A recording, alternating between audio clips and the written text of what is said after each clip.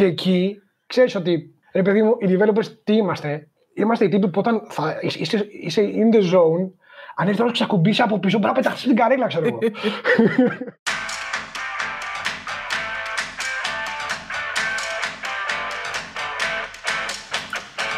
Γεια! Είμαι η Λένα Λέκου, συντονίστρια του web τμήματος στην SA Athens και ακούτε το podcast Life of Dev. Ένα podcast αφιερωμένο στην ελληνική development κοινότητα. Αλήθεια, τι μπορεί να μάθει μια designer σαν εμένα συνομιλώντας με developers?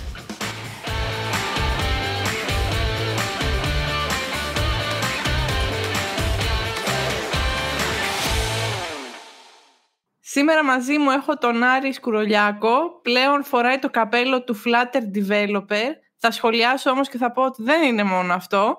Τον Άρη τον γνωρίζω πολύ καλά, ήμασταν συμμαθητές ε, στη ΣΑΕ το 2014. Έχουμε περάσει άπειρες ώρες στο τρένο γυρνώντας από τη σχολή, κουρασμένοι, φουλ από όλη την ημέρα, αλλά ενθουσιασμένοι γιατί μας άρεσε, γουστάραμε πολύ με αυτό που κάναμε στη σχολή.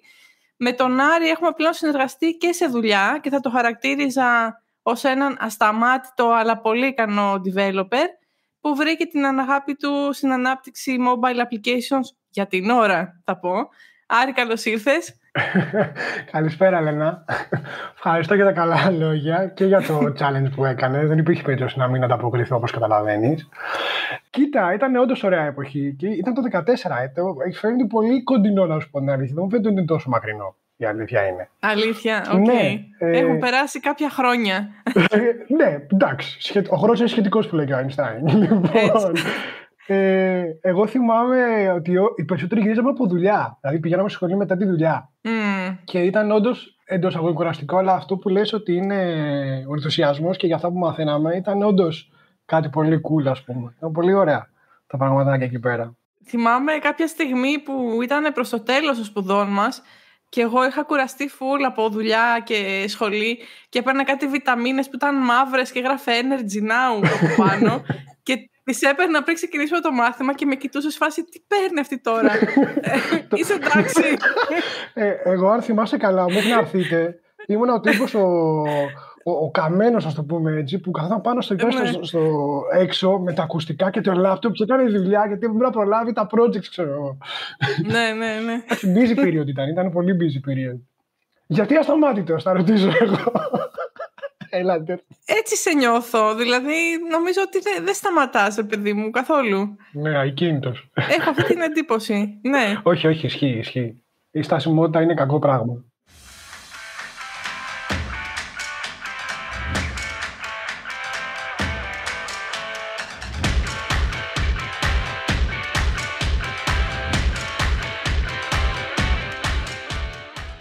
Και πάμε λίγο να το πιάσουμε από την αρχή και να μας πεις πώς ξεκίνησε στον προγραμματισμό και πώς μπήκε έτσι το μικρόβιο μέσα σου. Λοιπόν, ε, είναι λίγο αστείο, γιατί στην αρχή δεν ήθελα να ασχοληθώ με προγραμματισμό, να ξέρεις. Οπότε είναι κάπου δεκαετία του 90, ο πατέρας μου δουλεύει σε μια εταιρεία πληροφορικής ως σύμβουλος στα λοιπά. Οπότε έρχεται το, ο πρώτος υπολογιστής στο σπίτι. Ε, σαν παιδάκι και εγώ λοιπόν, του λέω, θέλω να το δω πώς είναι και τα λοιπά. Μου λέει, πάρε εδώ, από εδώ ανοίγει, από εδώ κλείνει, εδώ είναι τα παιχνίδια. Λέω, εδώ είμαστε. Οπότε ξεκινάω λοιπόν να παίζω παιχνίδια. Κάποια στιγμή λοιπόν που έχουν φύγει οι δικοί μου και είμαι εκεί πέρα με την αδερφή μου, κάτι κάνω και διαγράφω όλα τα παιχνίδια. λοιπόν, πανικόβλητο στο μεταξύ το άγχος ε, στο Θεό, ας πούμε. Λέω, πρέπει να τα βρω. Πρέπει να τα αφήσω έτσι όπως ήταν. Οπότε ξέρεις, ψάχνοντας τα λοιπά, έβλεπα ότι έβρισκα πράγματα, καμία σχέση με τα παιχνίδια, που ήταν περίεργα. Και επειδή είμαι περίεργος, άρχισα να τα τσιμπάω και αυτά. Και λέω κάτι καλό γίνεται εδώ πέρα. Οπότε λέω, α το ψάξουμε παραπάνω. Και ξέρεις, σιγά σιγά με τα χρόνια κτλ. Mm. είτε από games είτε από άλλα πράγματα και, που διάβαζα ας πούμε, για το σχολείο πολύ για τους αλγορίθμους τότε κτλ. Ε, λέω θα είναι καλό να ασχοληθώ με αυτό το πράγμα. Οπότε εκεί στο μετέχνιο μεταξύ που πρέπει να αποφασίσεις τι πρέπει να κάνεις, στο σχολείο, λέω πάμε για εκεί και ό,τι γίνεις. Ε, και στην πορεία άρχισε να μου αρέσει πιο πολύ γιατί έμπαινες πιο βαθιά στον προγραμματισμό mm. και έβλεπε ότι μπορείς να κάνεις πολλά πράγματα για πολύ κόσμο και διαφορετικό κόσμο. Ξέρεις τι συνειδητοποιώ μετά από τώρα πλέον μια δεκαριά επεισόδια; Ε, είμαστε αυτή η γενιά που ξεκινάμε και λέμε ότι κάποια στιγμή ήρθε ένας υπολογιστής στο σπίτι. Ενώ τώρα είναι φάση, υπάρχουν 15 υπολογιστές μέσα στο σπίτι ήδη. Δεν είναι ότι θα έρθει ένας υπολογιστή. Ναι, τώρα είναι η φάση του ήρθε το, το πρώτο ρομπότ στο σπίτι, ναι. ξέρω εγώ, ή το πρώτο AI ναι. φάση. Πλέον, κοιτάξτε, όλη η νέα γενιά πλέον έχει, είναι με ένα κινητό στο χέρι. Δηλαδή ναι. βγαίνουν με το κινητό, ξέρω εγώ. Ρε, ναι, ναι, το να μην έχει κάποιος κινητό είναι πολύ περίεργο για κάποιους. Ε, είναι η φάση που λέμε το κλασικό πάντα για τη δεκαετία μας με το Walkman, ρε παιδί μου. Δηλαδή, πολύ θέλω να μπω σε ένα τέρνο και να βάλω να ακούω Walkman και να γυρίζω mm. με το μολύβι, ξέρω εγώ, την κατάσταση. Και κοιτάνε όλοι, τι έγινε τώρα, τι κάνει αυτός, ξέρω Τι είναι αυτό το πράγμα; Λοιπόν, πες μας λίγο και για το ταξίδι σου από, από τις σπουδές σου και μετά. Δηλαδή, πώς ξεκίνησες, τι σπούδασες, σε ποιο στάδιο είσαι τώρα, αν θα σπουδάσεις και κάτι ακόμα, γιατί είπαμε είσαι ακίνητος. Κοίταξε να δεις τι γίνεται. Δεν ξέρω αν θα σπουδάσω κάτι ακόμα, η αλήθεια είναι. Αν θα πάω να κάνω κάτι πιο advanced, θα είναι στοχεύω να γίνω Google Developer Expert. GDE. Θέλει πολλά πράγματα και δεν ξέρω αν πολλά θα τα κάνω, αλλά ο στόχος είναι αυτός, ας το πούμε έτσι. Το, το μακρύ ταξίδι είναι αυτό. Τώρα θέλω να πάω μόνο σε mobile applications και web applications με το Flutter. Γιατί θεωρώ ότι είναι κάτι που θα μεινει που ήρθε μόνο βασικά για να μείνει. Έτσι. Και μπορεί να κάνεις πολλά πράγματα με ένα code base και βολεύει πάρα πολύ αυτό το πράγμα. Δεν είναι τα κλασικά hybrid apps που, που φτιάχνεις, ας πούμε. Ε, αν θα μάθαινα κάποια άλλη γλώσσα ή κάτι άλλο, πιθανά να ήταν ε, κάτι σε σχέση με Java, Java δηλαδή. Οκ. Που και αυτό είναι κάτι που δεν θα σταματήσει να υπάρχει, θεωρώ. Ε... Σε, σε κέρδισε δηλαδή, θα απορρίψεις την JavaScript, θα πάμε από την άλλη, από το άλλο μέτωπο; Ε, δεν ξέρω, κοιτάξτε, την JavaScript έχω πάρα πολύ καιρό να γράψω. δηλαδή, έχω πάρα, δηλαδή τώρα με τα παιδιά που έχουμε πάρει τέσσερις developers και ρωτάνε διάφορα, συνειδητοποιώ ότι ναι, πρέπει να το διαβάσω για να σου το πω ότι είναι κάπως έτσι, ξέρω. Ή, α, πώς γινόταν αυτό, Μ, ξέρεις. Λοιπόν, ε, τώρα σε το ταξίδι. Το ταξίδι είχε πολλά καλά, και πολλά κακά προφανώς, που μαθαίνεις από αυτά. Ήμουν από τους λίγους τυχερούς που μετά τη σχολη αντί να πάω τη σχολή, εννοώ ότι το, το ΤΕΙ και όχι το, το μεταπτυχιακό που κάναμε όλη παρέα εκεί πέρα, ε, να πάω σε μια εταιρεία Γιατί η πιο πολύ ήταν η φάση του, ωραία, ξέρω εγώ, τελειώνεις το ΤΕΙ, ε, πας γραφείο διασύνδεσης, πας σε μια τράπεζα, κάνεις καφέδες και κάνει φωτοτυπίες. Εγώ δεν θα το έκανα αυτό το πράγμα. Πες λίγο, γιατί επειδή δεν, δεν ξέρουν όλοι, τι ήταν το πρώτο σου πτυχίο, τι είχες σπουδάσει; Α, τε... fun fact επίσης, η σχολή δεν υπάρχει πλέον. Okay. λοιπόν, τελείωσα εφαρμογές πληροφορικής στη διοίκηση και στην οικονομία στο ΤΟΗ Γρεβενών. Λοιπόν, το καλό με αυτή τη σχολή ήταν ότι ήταν πληροφορική και είχε προγραμματισμό. Το κακό ήταν ότι αντί να παίρνεις τρεις διεξόδους, όπως υπήρχε ένα πρόγραμμα σπουδών που ήταν στο Μισολόγιο, αντίστοιχη σχολή, που έβγαινες ή πληροφορικάριος ή οικονομολόγος ή business, ας πούμε, στο business κομμάτι, mm-hmm. πήγε σαν σαχταρμά στην ουσία που δεν ήξερες τι να πρωτοκάνει. Και βασικά δεν ήξερες και τίποτα, έτσι, να λέμε και την αλήθεια. Λοιπόν. Ε, οπότε πάω στο γραφείο διασύνδεσης και λέω: Έχω μια εταιρεία στην Αθήνα ε, που θέλω να κάνω πρακτική. Μπορώ να πάω. Μου λένε: Οκ, okay, λέω, το δούμε. Όντως με αφήσανε μαζεύονται αυτά τα πραγματάκια μου από τα Γρεβενά, κατεβαίνω ξανά Αθήνα και πιάνω δουλειά. Ε, μέσα από αυτό το κομμάτι έμαθα να συνεργάζομαι με ανθρώπους, να επικοινωνώ, να πώς γίνεται η δουλειά, ε, deadlines, βασικό κομμάτι στη δουλειά μας. Mm-hmm. Πώς θα αντιμετωπίσεις την οποιαδήποτε κατάσταση, ας πούμε. Οπότε αυτό λίγο ξέρεις και όλες οι καταστάσεις και τα έργα που γινόντουσαν τότε και ήταν και πολλά, σε πλάθουν με μία έννοια, να το πω έτσι. Οπότε έχω πάρει πολύ καλές εμπειρίες και δυνατές και δυσκολίες που και τώρα, ας πούμε, στα παιδιά που είναι πάνω στην ομάδα που έχουμε φτιάξει, τους λέω: Παιδιά, δείτε και αυτό, ξέρω εγώ, ή στη συγκεκριμένη περίπτωση, καλό είναι να κάνετε αυτό, ή χειριστείτε το έτσι. Mm. Αλλά πάντα όπως και σε μένα, αυτό που μου μάθανε δηλαδή, είναι να, ώστε να δεις την ελευθερία του. Δηλαδή, δεν του λέω ότι έτσι θα γίνει, ρε παιδί μου, έτσι είναι το σωστό.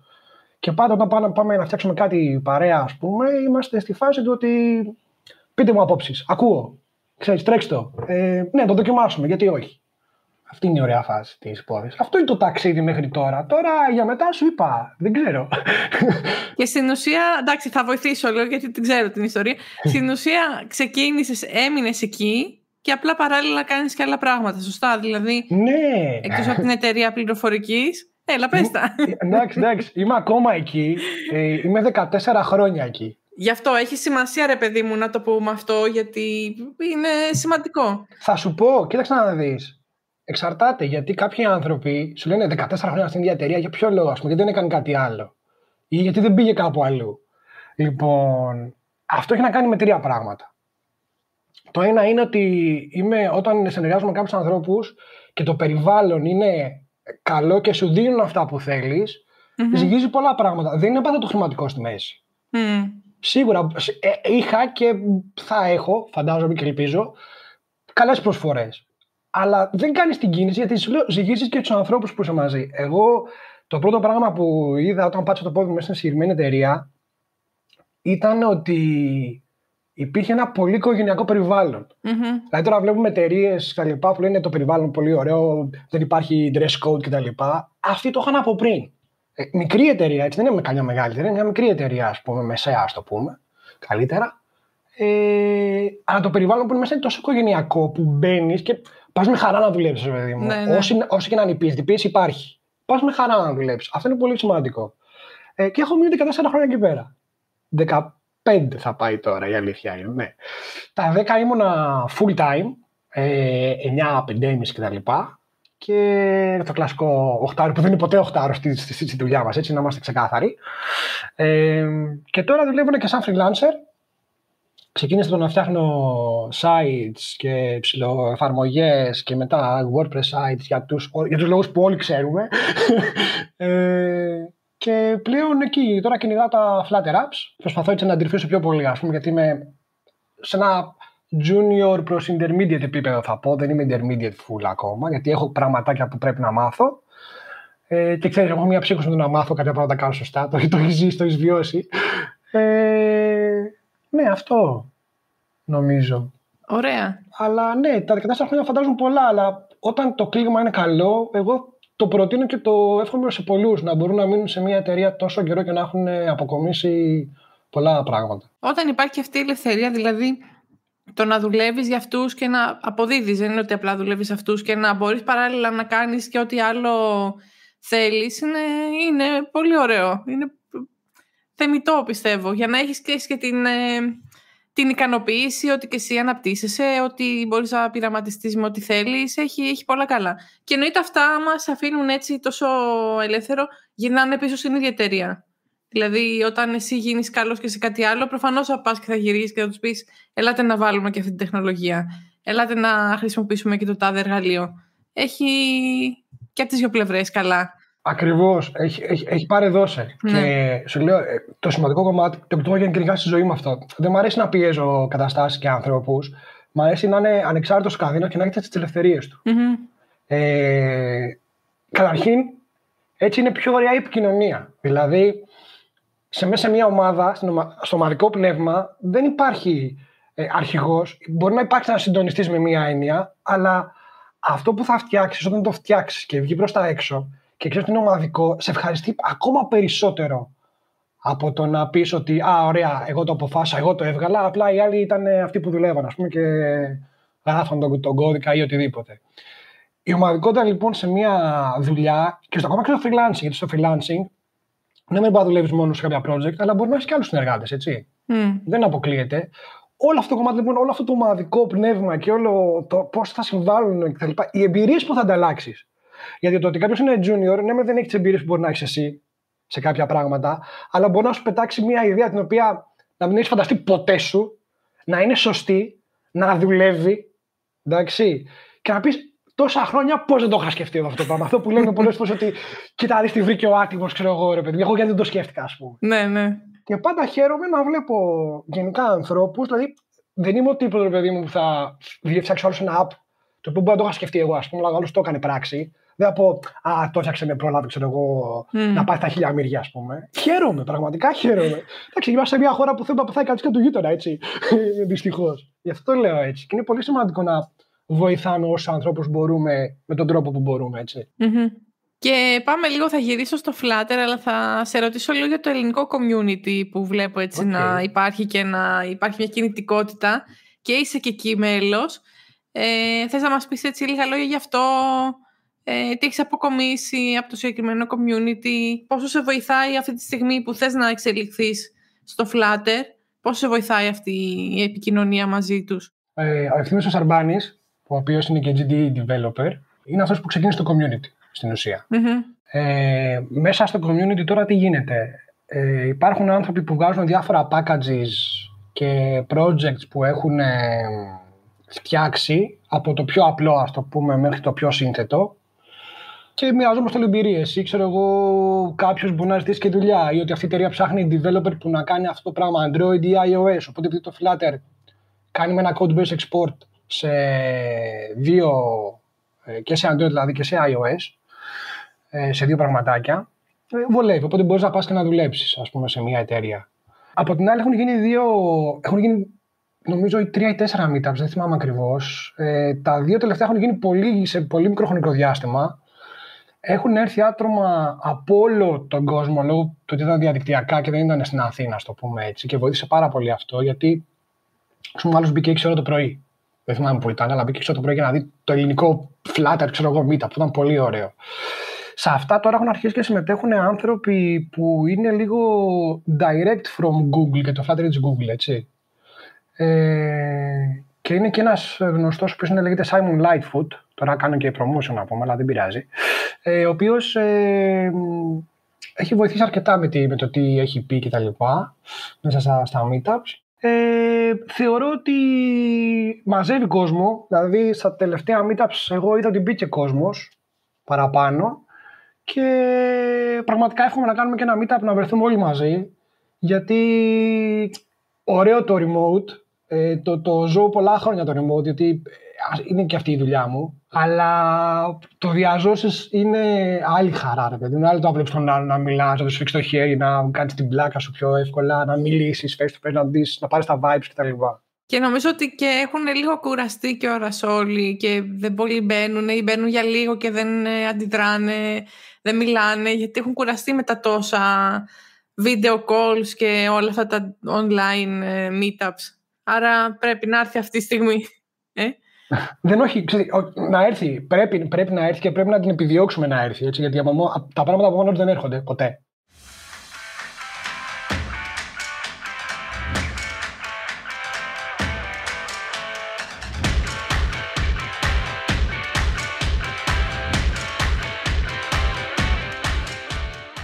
Πάμε λίγο παρακάτω. Θέλω να μας πεις λίγο για την ε, καθημερινότητά σου ε, τι κάνεις μέσα στη μέρα σου, ποιο είναι το workflow που ακολουθείς.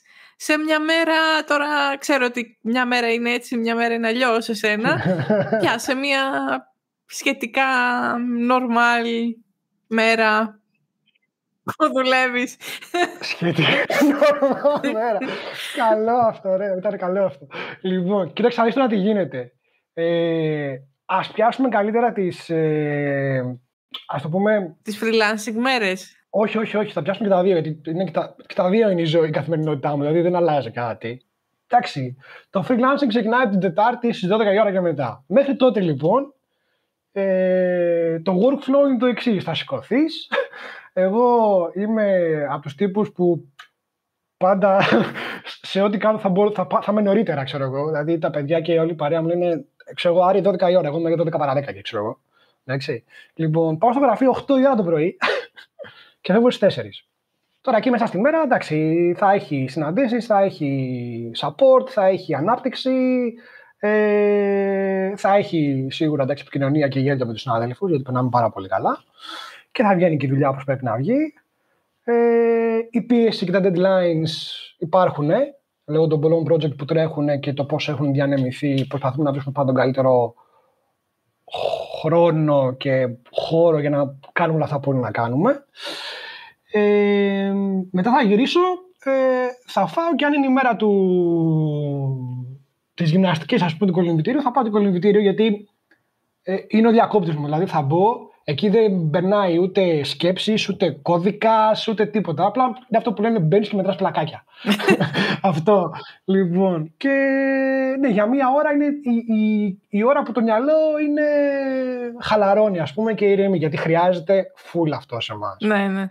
Τώρα, ε, μετά λοιπόν που θα, φτά, θα έρθει η Τετάρτη 12 η ώρα, γυρίζω σπίτι και ξεκινάω να χαλαρώνω, κάνω ξέρω εγώ έτσι ένα μίνι, ας το πούμε, ε, γεύμα να φάω, γιατί συνήθως το πρωί, ενώ παλιά τρώγα πρωινό, δεν τρώω πρωινό όταν πάω στο γραφείο. Κάνω κάτι να φάω και συνεχίζω και πιάνω δουλειά, ας πούμε, μέχρι το απόγευμα που πάλι αναλόγως τη μέρα, μετά θα πάω το κολυμπητήριο ή μετά θα κάτσω να χαλαρώσω λίγο όσο προλαβαίνω και όταν προλαβαίνω. Λοιπόν, τώρα το freelancing. Full κώδικα, εντάξει. Ε, θα κάνω το πρωινό μου το πρωί, κλασικά, αλλά τύπου American breakfast, ρε παιδί μου, ξέρεις. ε, θα, θα ασχοληθώ, θα δώσω χρόνο σε αυτό, ξέρεις. Είναι, είναι αυτό που βλέπεις ταινίες. Πάει ο τύπος που βάζει το γαλλικό στην καφετιέρα, πετάει τα αυγά στο μάτι, ξέρω εγώ. Άρα, συγγνώμη, δηλαδή, τις μέρες που πας δουλειά μένεις νηστικός, ενώ τις μέρες που είσαι freelancer κάνεις American breakfast. Ναι, είναι λίγο controversial αυτό, αλλά ναι. Ξέρεις γιατί; Θέλω να πάω στο γραφείο, να. Επειδή το πρωί, πώς 8 η ώρα με, μέχρι τις 10 που πιάνουν όλοι οι φυσιολογικοί άνθρωποι δουλειά, υπάρχει μια απόλυτη ηρεμία. Ναι. Καταλαβέ. Και εκεί ξέρεις ότι, ρε παιδί μου, οι developers τι είμαστε; Είμαστε οι τύποι που όταν θα, είσαι, είσαι in the zone, αν έρθει να ξακουμπήσει από πίσω, μπορεί να πεταχτείς στην καρέλα, ξέρω εγώ. λοιπόν, οπότε ναι, είναι ηρεμία και μπορώ να βγάλω πάρα. Όταν είμαι ήρεμος και δεν υπάρχει φασαρία, μπορώ να βγάλω πάρα πολύ δουλειά σε πολύ μικρό χρονικό διάστημα. Mm-hmm. Οπότε μου βολεύει και γι' αυτό πάω και τόσο πρωί. Και επίσης φεύγω στις 4 και αυτό που είναι συνήθεια από τη σχολή και έχω όλη τη μέρα μπροστά μου μετά. Mm. Μπορώ να δουλέψω για τα δικά μου. Μπορώ να χαλαρώσω, λέμε τώρα. ε, μπορώ να κάνω την προπόνησή μου. Μπορώ να βγω μια βόλτα, να πιω ένα καφέ παραπάνω, ας πούμε. Αυτό. Mm-hmm. Αυτό είναι το workflow στη Αλλά ναι, και στο πρωινό είναι, μου αρέσει, μ' αρέσει όλη αυτή η διαδικασία γιατί σου λέω είναι, είναι από τις φάσεις που σε ευχαριστεί. Και αν δεν κάνεις κάτι το οποίο το ευχαριστιέσαι και το κάνεις επειδή είναι φάση ρουτίνα, α, θα σηκωθώ, α, θα είμαι στον υπολογιστή, δεν πάει έτσι, όχι. Δεν μπορεί να δουλέψει έτσι, ας πούμε. Με καμία, με, με καμία, σε καμία περίπτωση. Και τι σε γεμίζει η ενέργεια και έμπνευση στη δουλειά σου; Oh, καλή ερώτηση αυτή. Κοίταξε, είναι οι άνθρωποι γενικά. Mm-hmm. Και το τι ερεθίσματα να παίρνεις από τον κόσμο γύρω σου. Ε, σου είπα και πριν ότι έχω τη διάθεση να βοηθάω όπου και όπως μπορώ και όποιους μπορώ, έτσι. Μ' αρέσει αυτό το πράγμα, δηλαδή, και έτσι έχω μεγαλώσει.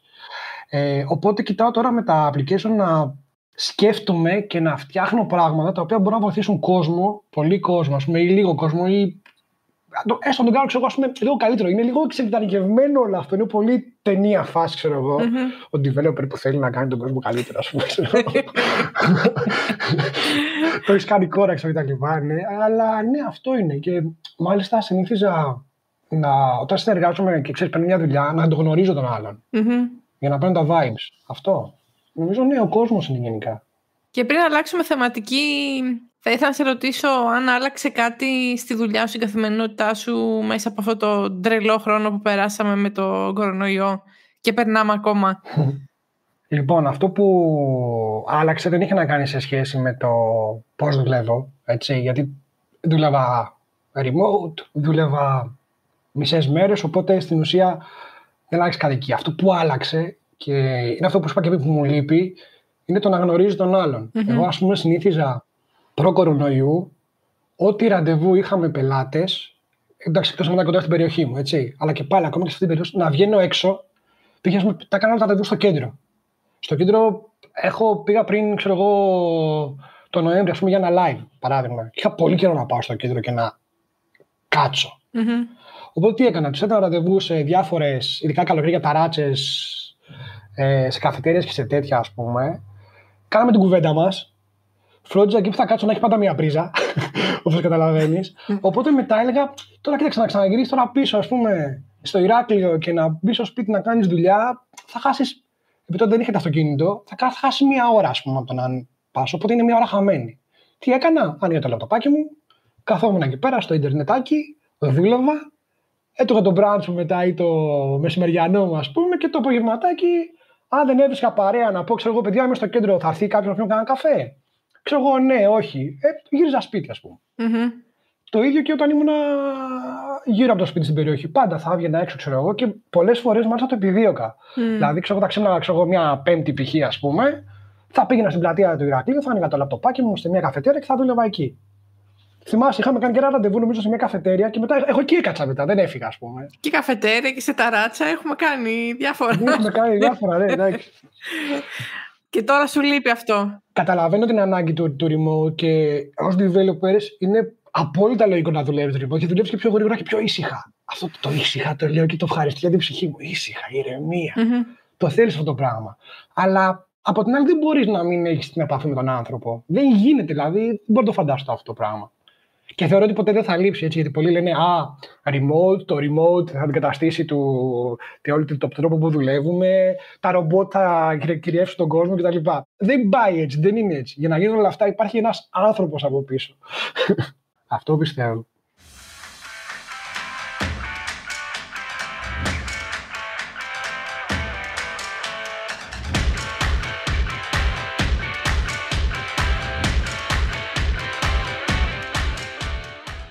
Ωραία, πάμε στην επόμενη ενότητα. Τώρα θα σου κάνω γρήγορες ερωτήσεις και μπορείς να απαντήσεις έτσι με πιο συνοπτική απάντηση. Οκ. Ε, όσο μπορείς πιο αυθόρμητα και χωρίς να το καλοσκεφτείς. Είσαι έτοιμος; Ναι. Αν ε, ξέρεις να κουνηθείς λίγο να ετοιμαστείς. Έχω σηκώσει τα μανίκια τώρα, ξέρεις. Έχω σηκώσει μανίκια, ξέρω και είμαι έτοιμος. λοιπόν, πάμε. Ποιο είναι το δυνατό σου skill ως developer? Υπομονή. Ποιο είναι το πιο βαρετό task μέσα στη μέρα, μέσα στη δουλειά σου; Τα meetings. Ποια είναι η πρώτη γλώσσα που αγάπησες; Ανώμαλος, αλλά JavaScript. Ποια είναι η επόμενη γλώσσα που θέλεις να μάθεις; Java. Αν δεν ήσουν developer, τι δουλειά θα έκανες; Τρεις θα έκανα πιθανά. Ταυτόχρονα Θα στο πούμε τη εννοείται. Πώς οι δύο θα μπορούσαν να συνδυαστούν ταυτόχρονα. Οκ. Ναι, βασικά, βασικά όλοι συνδυάζονται, αλλά εντάξει. Ναι. Λοιπόν, θα στα βρούμε τη σειρά που θεωρώ ότι θα τα έκανα. Ναι. Εντάξει, λοιπόν. Ε, Κολυμβητής, Ναι. ε, μουσικός, μάγειρας. Οκ. Θα σου πω γιατί. Κολυμβητής, γιατί ε, κολύμπαγα, έκανα πρωταθ- πρωταθλητισμό και ήταν το μεταίχμιο που σου είπα πιο πριν. ήταν- Έπρεπε να αποφασίσω να πάω για να κάνω πρωταθλητισμό ή θα πάω να κάνω κάτι άλλο. Μμ. Ε, Και έκανα το κάτι άλλο. Αυτό, εντάξει. Το καλύτερο project που έχεις δουλέψει ήταν; Ε, δεν ξέρω αν ήταν ένα. Η αλήθεια είναι. Ό- Όποιος σου έρχεται, όποιος σου έρχεται. Ε, το πρώτο project που δούλεψα και όταν πιάσα δουλειά. Οκ. Θες να πεις απλά τι ήταν, ήτανε website, τι ήτανε. Όχι, ήταν ε, μαθήματα CBT, δηλαδή τα οποία τα βάζω στον υπολογιστή, ε, τα οποία περιείχαν, ήταν ε, έργο του δημοσίου και είχαμε φτιάξει μαθήματα, διάφορα Μμμ. μαθήματα από θρησκευτικά, βιολογίες με διασπάσεις κιτάρου, μαθηματικά, ό,τι θέλει φυσική κτλ. Τα οποία πήγαν σε όλα τα σχολεία της Ελλάδας τότε. Μμμ. Ήταν το πρώτο project που δούλεψα. Και που προσπαθείς έμαθα πάρα πολλά από αυτό το πράγμα. Ε, ναι, προφανώς. Ε, ακούς μουσική όταν γράφεις κώδικα και αν ναι, θες να αποκαλύψεις τη τελευταία playlist. Λοιπόν, ακούω μουσική γενικά. Όταν γράφω κώδικα, ναι, ακούω μουσική και ακούω, όχι ξέρεις, χαμηλά τη μουσική, ό,τι είδος μουσικής και να είναι έτσι. Μμμ. Θα ακούσω από jazz, funk, indie μέχρι metal, ναι, μέχρι και σκληρό metal, πολύ ας πούμε. Μμμ. Ε, η τελευταία λίστα που άκουσα, γενικά φτιάχνω playlist, μου αρέσει να φτιάχνω playlist πάρα πολύ. Λοιπόν, έχω φτιάξει μία που τη λέω Trip and Drive, είναι στο Spotify μου Μμμ. και είναι για, τα, για ταξίδια και για οδήγηση. Οπότε έχω βάλει διάφορα κομμάτια μέσα από κυρίως νομίζω rock, blues, jazz, indie φάση που και σε χαλαρώνουν και είναι η φάση ότι τώρα θα οδηγήσω ρε παιδί μου να το ευχαριστηθώ. Μμμ. Ε, οπότε αυτή είναι η playlist και ακούω και ένα δίσκο που έχω πάρει τώρα τέτοιο ε, το Νοέμβρη ο οποίος είναι indie, indie εντάξει. Δεν, θα, δεν θέλω να τον κατηγορήσω γιατί ο καθένας μπορεί να τον αντιληφθεί διαφορετικά της Rosie Blue που λέγεται Swans. Μμμ. Ε, μπορείς να το ακούσεις οποιαδήποτε ώρα της ημέρας, είτε οδηγάς, είτε χαλαρώνεις, είτε οτιδήποτε και θα το ευχαριστηθούν σίγουρα, δεν το ψάξουν τα παιδιά άμα θέλουν. Θα το βάλω στο description.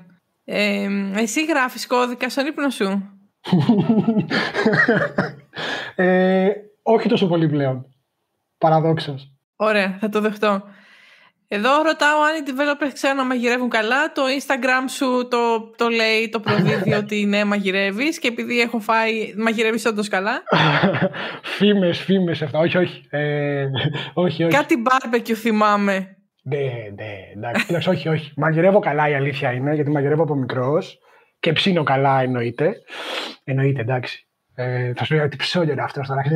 όχι, όχι. Μ' αρέσει η μαγειρική και είναι από τα κομμάτια τη, της κάποιας μέρας, ας πούμε, που θα μαγειρέψω για το, στο σπίτι. Μμμ. Και είναι και αυτό ένα ένας τρόπος, ένα χόμπι το οποίο χαλαρώνεις και είναι και δημιουργικό. Γιατί εγώ, αν δεν κάνω κάτι δημιουργικό, δεν, δηλαδή νιώθω ότι κάτι χάνω. δεν γίνεται. Ε, πρέπει κάτι να είναι ωραίο, να, να το ευχαριστήσει και εσύ και, και οι υπόλοιποι που είναι γύρω σου. Ναι, όχι, τα, τα barbecue και το φαγητό είναι, εντάξει, είναι σημαντικό κομμάτι της ζωής μου, ναι. Αν ήσουν ζώο, τι ζώο θα ήσουν και γιατί; Δύο ζώα. Ή λύκος ή γάτα. Οκ. Okay. Θέλω να σου εξηγήσω γιατί, ε. Λοιπόν, για τις γάτες, επειδή είμαι και αγαπάω όλα τα ζώα γενικώς, εντάξει. Με τις γάτες έχω μια πιο έτσι ευαίσθητη σχέση. Και θεωρώ ότι υπάρχει μια πολύ μεγάλη παρεξήγηση. Mm-hmm. Ναι, οι γάτες είναι ανεξάρτητες, είναι αφεντικά του εαυτού τους, σε γράφουν κανονικά όπου δεν θέλουν, αλλά μπορούν να δεθούν και να αναπτύξουν εμπιστοσύνη μαζί σου απίστευτα. Mm. Τολμώ να σου πω περισσότερο και από σκύλα. Αυτή είναι η γνώμη μου εμένα. Λοιπόν, ε, Κάπως έτσι είμαι κι εγώ. Σου είπα, δεν μου αρέσει η πίεση. Θέλω να είμαι ανεξάρτητος. Θέλω το χώρο μου να κάνω πράγματα και δραστηριότητε που μου αρέσουν. Αλλά όλοι οι σχέσει στους ανθρώπους είτε είναι ε, αισθηματικές, είτε είναι επαγγελματικές, είτε είναι φιλικές, έχουν να κάνουν πάρα πολύ με το δέσιμο και την εμπιστοσύνη απέναντι στους άλλους. Τώρα, Λύκος. Γιατί; Λοιπόν, ο Λύκος είναι ένα πολύ όμορφος ζώο. Δεν ξέρω αν έχεις δει ποτέ Λύκο μπροστά σου. Σου εύχομαι να μην δεις, γιατί, εγώ, γιατί εγώ έχω δει. Από απόσταση. θα θα παρατήρησε λοιπόν ότι δεν. Ε, και εγώ από πώς δεν πήγα δίπλα να το χαϊδέψω, να το πω γεια σου, τι κάνεις; Έτσι. Καλός κα, καλό λικάτι, ξέρω εγώ. Εντάξει. Λοιπόν, αλλά έχει αυτό το βλέμμα ρε παιδί το δυνατό που σε, που σε εγκλωβίζει, σε κρατάει. Okay. Λοιπόν, πάνω από όλα αυτά όμως είναι κοινωνικός γιατί λειτουργεί μέσα σε αγέλη σε ομάδα και προστατευτικός με την αγέλη. Δηλαδή, κάπου διάβαζα ότι οι λύκοι όταν μετακινούνται από μέρος σε μέρος, βάζουν μπροστά τους γυρεότερους, mm. Ε, του μεγαλύτερου ηλικία λύκους, ας πούμε, στη μέση πάνε πιο νέοι. Για να μην μείνουν πίσω. Μπράβο. Και πίσω-πίσω πάει ο αρχηγός, ας πούμε, της ε, της φάσης. Εντάξει, ε, δεν είμαι αρχηγός σε καμία περίπτωση, έτσι, δεν το, δεν το λέω με αυτή την έννοια. Ε, αλλά λειτουργώ σε ομάδα, μέσα μου αρέσει να λειτουργώ μέσα σε, σε ομάδες και, και, και, ειδικά φίλων, ας πούμε. Έτσι. Και φυσικά όπως και εγώ στη, σε κάθε περίπτωση θα βοηθήσω και θα σταθώ στους φίλους μου έτσι και, και οι άλλοι σε μένα. Οπότε αυτά δύο ζώα θα πω ότι θα μπορούσα να ήμουν. Ποιο είναι το ιδανικό job title που δεν υπάρχει, αλλά αν υπήρχε θα το έβαζε στο LinkedIn σου; Που δεν υπάρχει. Δεν ξέρω αν υπάρχει αυτό. Δεν, τα έχω, δεν έχω εντρυφήσει σε αυτό το κομμάτι. Θα το πω πολύ απλά έτσι όπως μου έρχεται. Code Mage. A.K.A. Wizard, ας το πούμε έτσι. Εντάξει. Α, ναι, οκ. Okay. Magician. Ναι, ναι, ναι, ναι, ναι. Γιατί να σου πω κάτι. Αν το σκεφτείς λίγο και εμείς κάνουμε κάτι έτσι ψιλομαγικά, είναι η φάση που ο άλλος δεν καταλαβαίνει τι, τι φτιάχνεις. Ναι, ναι. Όπως, Α, είναι ωραίος. Oh, wow, ξέρω εγώ. Αυτό. Και εντάξει, Όπως και στα μαγικά, ρε παιδί μου, κάτι μπορεί να πάει πολύ καλά, κάτι μπορεί να πάει πολύ στραβά. Οπότε ή αυτοί που θα βγάλουν κάτι πολύ ωραίο και θα πεις Wow, τέλειο, ή ξέρεις πώς είναι τα καρτούν με το μαύρο πρόσωπο που έχει σκάσει από την έκρηξη ξέρω, και τα μαλλιά πάνω. Ναι, ναι, ναι. έτσι θα Ειδικά όταν παίζουν προβλήματα στη μέση, είναι ξέρεις, εκεί που κάθεσαι και λες. Πότε θα το λύσω αυτό, πώς θα λυθεί αυτό, γιατί δουλεύει, γιατί δεν δουλεύει. Και μόλις δουλεύει, γιατί δουλεύει τώρα, το δουλεύει πριν. Συνέχισε μου την πρόταση. Εφού walks into a bar. And says hello world. Αυτό μου ήρθε πρώτα. Okay. έχω καμένα ανεκδότα πολλά να σου πω όμως. Και έχω ένα πολύ αγαπημένο. Μα θες να το πούμε, να το πούμε. Πες το, πες το για να κλείσουμε έτσι τη συγκεκριμένη ενότητα. Λοιπόν, ε, why developers use dark mode; Γιατί; Φοβάμαι. Because light attracts bugs. καλό, καλό, καλό, θα το δεχτώ. Θα το δεχτώ.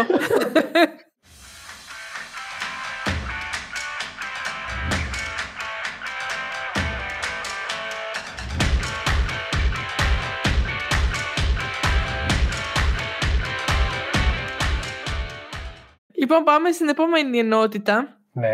Και ας μιλήσουμε λίγο παραπάνω για το κλάδο μας και θέλω να μου πεις τι project πιστεύεις θα, θα ασχοληθούμε το επόμενο διάστημα, τα επόμενα χρόνια; Κάνε μια πρόβλεψη. Πρόβλεψη. Κοίταξε, σίγουρα ήδη τρέχουν κάποια πράγματα. Τρέχει, τρέχει το IoT πάρα πολύ. Τρέχουν τα smart homes, smart devices, τα πάντα. Θεωρώ ότι θα πάει πολύ μπροστά η ρομποτική, Ε, το AI και το augmented reality ίσως και ειδικά και με τα, και με τα games. mm Γιατί δεν σου κρύβω, δεν σου κρύβω ότι αν είχα ανακαλύψει τη σχολή μας νωρίτερα δεν θα έκανα το web κομμάτι. θα έκανα το game. Προδότη. Γιατί ήμουν ο τύπος που Α πούμε, θα παίζα ένα παιχνίδι, θα το έβλεπα και θα έλεγα ότι, OK, αυτό μου αρέσει. Οπότε θεωρώ ότι τα, επειδή τα games και όσο η τεχνολογία αναπτύσσεται, είτε είναι webικά games, είτε είναι σε κονσόλε, είτε είναι σε οτιδήποτε σε PC κτλ., Ε, θα, πάει, θα πάει πολύ μπροστά το αυτό κομμάτι και το 3D γενικά θεωρώ. Ε, υπάρχει κάποιος developer που ακολουθείς και θαυμάσει τη δουλειά του; Δεν έχω κάποιο συγκεκριμένο.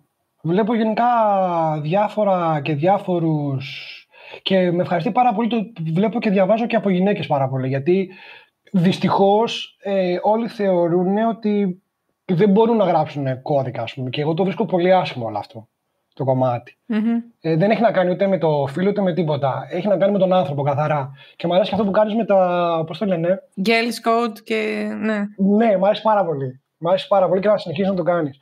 Ε, ναι, οπότε δεν έχω κάποιο συγκεκριμένο. Απλά προσπαθώ να παρακολουθώ και όχι μόνο από Flutter, έτσι. Ε, από παντού. Γιατί μπορεί κάποιος να φτιάξει κάτι σε, στη δική του γλώσσα ή με το δικό του μυαλό, το οποίο εσύ μπορείς να το πάρεις και να το κάνεις μετά λίγο καλύτερο. Ή να επικοινωνήσεις μαζί του και να κάνεις ένα πολύ ωραίο προτζεκτάκι. Οπότε προσπαθώ να έχω το μυαλό μου ανοιχτό και να δέχομαι πράγματα και να διαβάζω πράγματα από πάρα πολλά ε, από πάρα πολλούς πόρους ας πούμε. Και πες μας και κάτι που διάβασες και σου έκανε εντύπωση. Ναι. Διάβασα ένα πολύ δύσκολο βιβλίο τελευταία, το οποίο τελείωσα πριν κάτι μέρες. Το είχα πιάσει, το είχα ξαναφήσει. Mm-hmm. Λέγεται «Η αλγοριθμική τέχνη των αποφάσεων». Όχι, Παναγία μου. Ναι, στην αρχή μου και καλός. ναι, στην ουσία τι σου λέει. Σου λέει το πώς μπορείς να πάρεις αποφάσεις και να βρεις λύσεις σε περιορισμένο χώρο και χρόνο, mm-hmm. είτε στην καθημερινή ζωή, είτε στα αισθηματικά, είτε στα επαγγελματικά και πώς θα μπορούσε γενικά να οργανώσεις πράγματα που κάνεις στην καθημερινότητά σου. Λοιπόν, η εντύπωση που μου έκανε ήταν αρνητική όχι θετική. Okay. Δεν το περίμενες αυτό, δεν τότε έρχεται. λοιπόν, διαφωνώ στα περισσότερα που λέει, γιατί δεν έχει, για μένα δεν έχει λάβει γνώμονα ε, τον ανθρώπινο παράγοντα. Δηλαδή, δεν είμαστε το, ο άνθρωπος, το πώς λειτουργούμε, έχει να κάνει και με τις εμπειρίες μας και με τα λάθη που κάνουμε τα οποία θα πρέπει να μαθαίνουμε. Mm. Τώρα, ποιοι μαθαίνουμε και ποιοι δεν μαθαίνουμε είναι άλλο κομμάτι αυτό. Ε, και έχει και με το συνέστημα. Οπότε δεν λειτουργούμε όλοι μηχανικά, ξύλινα και ορθολογικά πάντα σε όλες τις περιπτώσεις. Και νομίζω ότι τουλάχιστον εγώ δεν λειτουργώ έτσι και δεν λειτουργούσα ποτέ έτσι. έτσι. Οπότε αυτό το βιβλίο είδα κάποια πράγματα τα οποία ναι, εντάξει, σε ένα πολύ ιδανικό ε, περιβάλλον και καταστάσεις, ναι, θα δούλευε. Θα έρθουν ένα ρομπότ το οποίο θα πρέπει να κάνεις έτσι, ας πούμε. Ή να σκεφτείς ότι οι λύσεις για να οργανώσεις τη ζωή σου, ξέρω εγώ, την επαγγελματική σου ζωή, είναι αυτό. Πρέπει να κάνεις αυτά τα βήματα. Δεν πάει έτσι. Οκ. Okay. Μια συμβουλή που έχεις να δώσεις όσους ξεκινάνε τώρα; Σε όσους ξεκινάνε τώρα. Ε, σίγουρα να βρίσκουν χρόνο και να κάνουν χρόνο να διαβάζουν, να ανοίγει το μυαλό τους.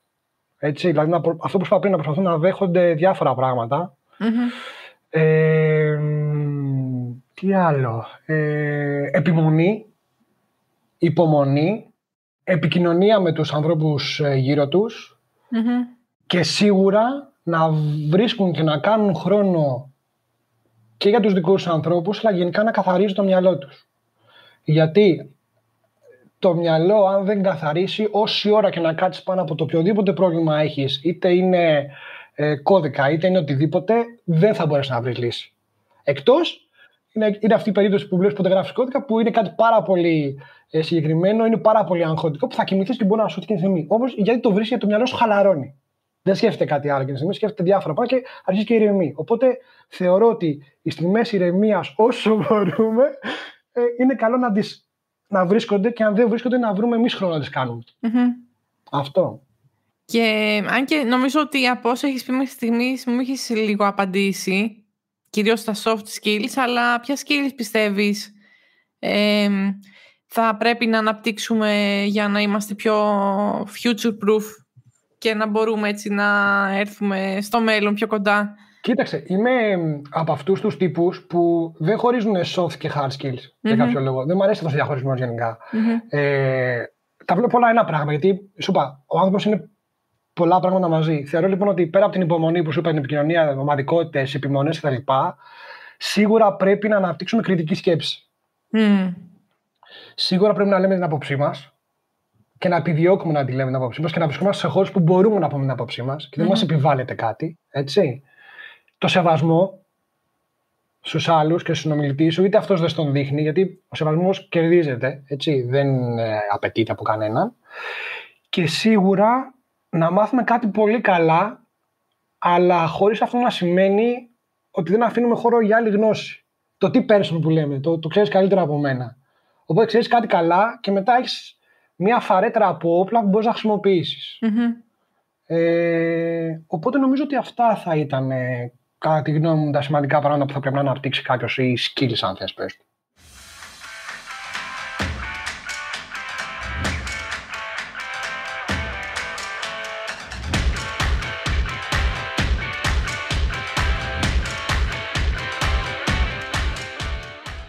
Πες μας τώρα το αγαπημένο σου digital tool. Δεν έχω κάποιο αγαπημένο digital tool. Θα σου πω τώρα κάτι που θα σε... Ωραία, κάτι που χρησιμοποιείς ρε παιδί μου κάθε μέρα. Χρησιμοποιώ το VS Code προφανώς κάθε μέρα. Okay. Εντάξει. Αλλά Πώς να δεις το τι έκανα. Τώρα, τώρα θα τσινήσει λίγο, γιατί το ξέρω, θα, θα στο φέρω και θα σου αρέσει το τέλος. Θα δεις. θα, θα το γυρίσω πολύ ωραία. λοιπόν, δουλεύα, δου, δουλεύω το Adobe XD. Okay. Ωραία. Ναι. Λοιπόν, αλλά αν θα πω ότι θα χρησιμοποιήσω κάτι, θα θέλω να το δοκιμάσω το Figma. Αυτό. Οπότε, ίσως να ξεκινήσω ναι, να δουλεύω το Figma, ας πούμε, για να κάνω διάφορα πράγματα. Όπως όπως είπες, πέρα από το developing, κάνω και UI κάποια πράγματα. Αυτό πήγα να ρωτήσω, ότι εσύ XD, αφού developer, τι σχέση έχεις με το XD. Τι κάνεις εκεί, φύγες από εκεί πέρα. Εντάξει, δεν σας πάω τη δουλειά, αλλά ξέρεις τι, κάνοντάς το αυτό, καταλαβαίνεις και κάποια πράγματα και για τους, την άλλη περίεργη κατάσταση του web, ας πούμε, που είναι οι designers, έτσι και όχι μόνο του web γενικά και του mobile. Mm-hmm. Δηλαδή, εγώ αυτό που θεωρώ ότι είναι κάτι που με ξεχωρίζει από κάποιους άλλους ανθρώπους που είναι λίγο πιο ας πούμε παροπίδες, είναι ότι το, το έχει δει και έχουμε συνεργαστεί μεταξύ μας. Το έχεις δει. Δηλαδή, θα μου πεις ότι πράγματα θα τα καταλάβω ή θα μου δώσεις κάποιο ένα design και αν όχι στο, 90, στο 100% θα το πάω στο 95% κοντά του. Mm-hmm. Οπότε έχω μία εικόνα του πώς φτιάχνεται κάτι, του πώς γίνεται κάτι. Λοιπόν, αυτή τη στιγμή σκέφτομαι στην εταιρεία στο part-time, φτιάχνουμε ένα θεματάκι το οποίο ό,τι, ό,τι έχει υπάρξει μέσα σαν UI, τελικά το έχω φτιάξει εγώ. Και είναι πάρα πολύ ευχάριστο. Και, και είναι και δημιουργικό επίσης. Mm-hmm. Οπότε, ναι, εντάξει. Και ξέρεις, έχω, σου έχω στείλει και σου έχω πει, ξέρεις, αυτό είναι σωστό, ρε παιδί μου. Μου λες, όχι, δεν είναι σωστό. Πέρα, κάτσε αυτό, αυτό και αυτό. λοιπόν. Έλα, μην μη με δίνεις. Μην με δίνεις. όχι, δεν σε. Μα, μα, επειδή μου, όπως εσύ θα έρθεις να μου πεις, Άρη, ξέρω εγώ, ξέρεις, δεν δουλεύει αυτό. Τι να κάνω; Ναι, ναι, ναι. Εντάξει, ρε, εσύ, είναι, είναι, αυτό που σου λέω. Είναι ότι έχουμε ένα κύκλο ανθρώπων που θα βοηθήσει όπως μπορεί ο καθένας. Και εγώ χαίρομαι, δηλαδή, όταν, όταν μου πεις, δεν είναι αυτό, δεν θα τσινήσω. Θα πω, cool, ναι, εντάξει. Ξέρεις τι, το σκέφτηκα, αλλά δεν με βαριόμαι να το κάνω τίποτα τόσο γρήγορα, mm-hmm. αλλά οκέι, okay, σε ένα update θα το φτιάξω. Ναι, ναι. Αυτό. Και πες μας ένα επόμενο gadgetάκι που θέλεις να αγοράσεις. Ένα επόμενο gadgetάκι. Κοίταξε να δεις τώρα. Δεν είναι ακριβώς gadgetάκι. Δεν ξέρω αν χαρακτηρίζεται gadget. Να σου πω. Γενικά δεν είμαι πολύ gadgetάκια. Θα πάρω πράγματα τα οποία όντως θα μου κάνουν, θα μου χρησιμέψουν κάπου. Λοιπόν, θέλω να πάρω έναν ενισχυτή για να συνδέσω τοπικά που θα μετακομίσω τώρα τέλη Δεκέμβρη, αρχές Γενάρη θα μετακομίσω. Επειδή έχω αρχίσει και μαζεύω βινίλια και επειδή στο το σπίτι έχει πάρα πολλά βινίλια τα οποία πλέον δεν ακούγονται. Ε, θέλω να πάρω ένα ενισχυτή και, και ηχεία για να μπορέσω να τα ακούω. Γιατί είναι, αυτή η αναλογική αίσθηση είναι πολύ ωραίο. Επειδή η μουσική σου μου αρέσει, ε, νομίζω ότι αυτό θα ήταν σαν gadgetάκι. Εντάξει, δεν είναι γκάτζετ ακριβώς, αλλά εντάξει. Αυτό, ναι. Λοιπόν, φτάνουμε προς το τέλος. Θέλω να μας πεις πού μπορούν να σε βρουν στο διαδίκτυο για ποιον θέλει να επικοινωνήσει μαζί σου. Ε, μπορούν να με βρουν στο site μου, το οποίο είναι το wngdev.gr θα βάλω και το, στο description, άρα θα το βρουν εύκολα. Α, τέλεια. Ωραία. Εκεί μέσα θα βρουν και τα social, τα οποία δεν έχουν να κάνουν τα προσωπικά μου account, απλά έχουν να κάνουν το εταιρικό account, το business account, ας πούμε, προφανώς. Και στο GitHub, slash RSSK, θα βρουν πράγματα φλατε, φλατερικά, φλατεροειδή, ας πούμε. Οπότε εκεί κυρίως, και εκεί πέρα θα αρχίσω να ανεβάζω κάποια πράγματα και ίσως ε, στο μέλλον και κάποια open projects, open source ε, projects, ας πούμε, για να μπει ο καθένας και να, κάνει, να βοηθήσει όπως θέλει και να μοιραστούμε και εμπειρίες. Mm-hmm. Και για το τέλος ε, πρέπει να δώσεις σκητάλη σε επόμενο καλεσμένο. Τι ποιον θέλεις να ακούσεις σε επόμενο επεισόδιο. Ελπίζω να το ακούει ο κύριος αυτός που θα το δει. Θα πω τον Απόστολο Ιωαννίδη. Ο οποίος είναι, είναι φίλος, είναι συνεργάτης και ήταν και ο καθηγητής μας στη, στη σχολή. Εντάξει, το Αποστόλη τον το συμπαθώ πάρα πολύ και το συμπάθησα και από τη μέρα που ήρθε στη σχολή και το πρώτο πράγμα που έκανε ήταν να μας βάλει το βίντεο με το ίντερνετ του IT Crowd. Ναι, ναι, ναι. ναι. Αν θυμάσαι καλά, πρέπει να ήμουν ο μόνος εντός αγών, θα το πω και εντάξει, βλαμμένος, ο οποίος γέλασε δυνατά με την καρδιά του, ρε παιδί μου, μόλι αυτό. και σταματάει ο και λέει: Το ξέρεις, του λέω ναι.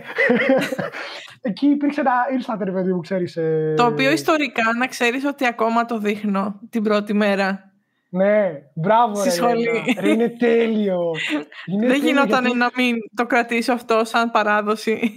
Πάρα πολύ χαίρομαι. Ρε, ήταν, ήταν, ήταν τέλειο. Βασικά αυτή η σκηνή είναι τέλεια γιατί πιάνει όλη την καθημερινότητα και το τι βιώνει ένας IT τύπος. Ναι, ναι. Και το, το έχω ζήσει γιατί έχω δουλέψει σε αυτόν τον τομέα. Όπως ξέρεις.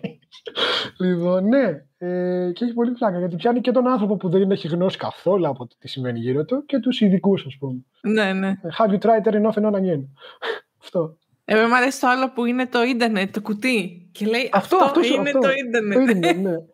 Και το πάει στο Big Bang, ξέρω εγώ, και έπεσε και χάθηκε το ίντερνετ και τα Ναι, λοιπά. ναι, ας πούμε. Και Mages of the Internet και τα λοιπά.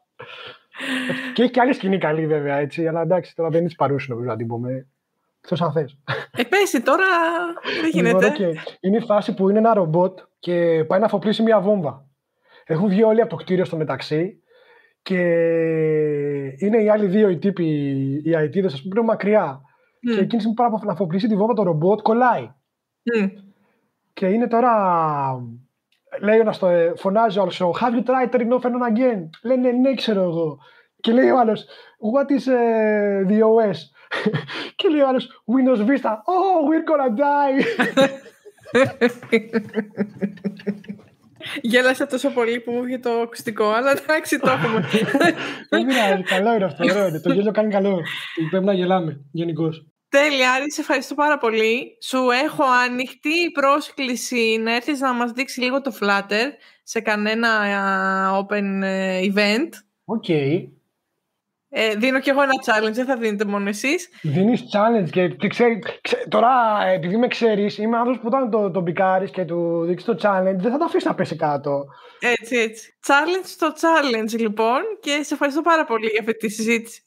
Και εύχομαι να δούμε έτσι ωραία applications από σένα στο μέλλον. Να πω και εγώ ότι το ευχαριστήκα πάρα πολύ γενικά και μακάρι να μπορούσαμε να μιλάμε για ακόμα άλλες δύο ώρες, ξέρω εγώ. Καλή συνέχεια. Επίσης, ευχαριστώ πάρα πολύ.